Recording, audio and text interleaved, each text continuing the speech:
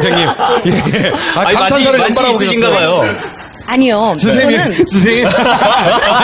네. 이거는 남자가 사랑할 때가 아니라 여자가 사랑에 불 붙었을 때. 네, 아주 이 조림한 게 양념도 아주 그 단맛 짠맛이 어우러져서 하루 정도 여행 가서 먹어도 괜찮겠습니다. 등갈비라든가 도미뱃살 같은 고급스러운 재료를 써서 그런 데에서 만족감이 높은데요. 이제 그거에 반해서 아무래도 이제 재료비가 한정돼 있다 보니까 도시락의 풍성함 같은 아. 거는 좀 부족하지 않았나 그런 생각을 합니다. 양이 조금 부족했다. 예. 고급스러운 재료로 명품 도시락을 선보인 신용이 도전자. 마지막 도전자입니다. 신영희 학생의 점수를 보여주세요. 자, 과연 신영 학생의 점수는 50, 60. 신영희 학생 알콩달콩 연인들의 봄나들이를 위한 도시락. 남자가 사랑할 때. 과연 그는 단상에 오를 수 있을 것인가? 60, 학생. 70, 60. 76점.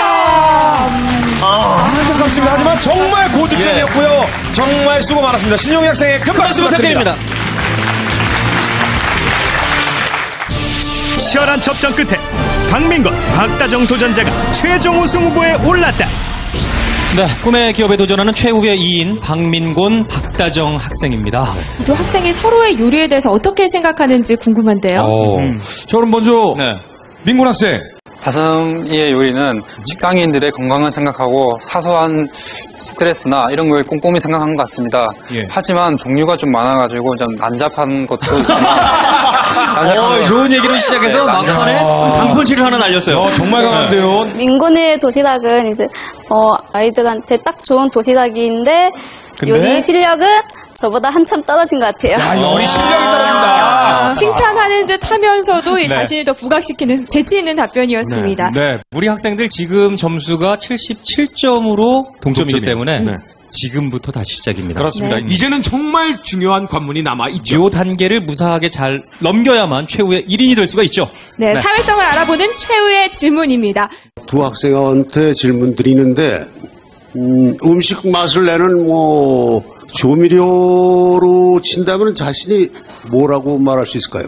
자, 조미료에 비한다면 뭐가 될 수 있을지 우리 학생들 준비는 준비가 됐나요? 개복숭아 효소라고 생각합니다. 개복숭아는 이제 먹지 못하는 과일이지만 음, 이제 발효가 되면 될수록 복숭아의 향과 맛을 내는 촉진제입니다. 이렇듯 남들이 보기에는 저는 평범해 보이지만 중학교 때보다는 지금이 지금보다는 앞으로가 무한한 잠재력을 가지고 있기 때문에 효소라고 생각합니다. 예. 자, 그렇다면 우리 박민곤 학생은 어떤 생각을 가지고 있을지 한번 들어볼까요? 저는 된장과 같습니다. 된장은 깊은 맛과 깔끔한 맛을 우려내는데요. 지금은 거- 저는 간 담은 매주입니다. 매주는 잘 만드냐 못 만드냐 저장을 잘하느냐 못해서 그 부분에서 된장 맛이 좌우되는데요. 꿈의 기업에 입사하여 좋은 맛을 내도록 하겠습니다. 자, 우리 학생 뭐 얘기를 들어봤는데요. 막상 막하, 용호상박 뭐 이런 단어가 생각이 나네요. 맞습니다. 네. 두 학생 누구도 필요하지 않은 존재가 아니에요. 무조건 필요한 존재들이에요. 이제 모든 질문이 끝났고요. 꿈의 상자를 열어볼 시간인데요. 이 꿈의 상자 안에는 우리 친구들이 지금까지 해왔던 노력을 대변할 물건이 들어있습니다. 네. 자, 그럼 꿈의 상자를 열어보겠습니다. 과연 어떤 물건이 들어있을까요? 네, 기대가 많이 되네요. 자, 공개합니다. 저, 자, 안에는 적금 통장 그리고 요리용 칼이 들어있는데요. 칼. 어떤 학생의 물건입니까? 칼. 겁니다. 네. 민곤 학생. 민곤 학생 어떤 의미인가요? 저 칼은 제가 요리를 처음 시작할 때 원장님이 사주셨는데요. 지금은 많이 묻어지고 라- 칼이도 나가고 못 쓰겠지만 저 칼을 꾸준히 쓰면서 초심을 잃지 않는 마음으로 좋은 요리사가 되고 싶습니다. 예. 네. 자, 그렇다면 이번에는 적금 통장. 다정 학생이겠네요.